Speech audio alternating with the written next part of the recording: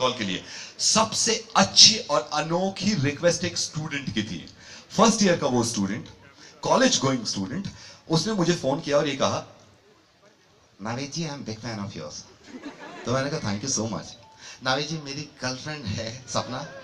Please उसका मरका बना दो। प्लीज़ तो हम जनरली ये करते हैं कि मैं कहता हूँ कि आप मेल लिख दीजिए। नहीं सर आप प्लीज़ बना दो सर प्लीज़ प्लीज़ बना दो. तो मुझे बहुत कहने लगे तो मैंने कहा, "आप चुप रहना। तुम बोलना मत मैं तुम्हारी गर्लफ्रेंड सपना को फ़ोन कर रहा हूँ बस सुनते रहना।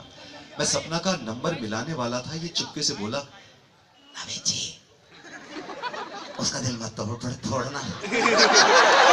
क्योंकि मैं उससे प्यार करता हूँ सपना मेरी गर्लफ्रेंड है। डोंट हर्ट हर प्लीज़ मैंने कहा ठीक है भाई करने तो दे मुझे। फिर मैंने मिलाना शुरू किया तो फिर आवाज़ आई प्लीज़ सपना का दिल मत तोड़ना। ये गर्लफ्रेंड है उसको खुश कर दो। मैंने चौथी बार जब सपना का फ़ोन किया सपना को तो उनका मोबाइल स्विच ऑफ़ था। मैंने कहा भाई तुम्हारी गर्लफ्रेंड इतनी तुम दुहाई मचा रहे थे उसका फ़ोन बंद है। बोला यार एक और है गर्लफ्रेंड साथी उसको करके देखो मैंने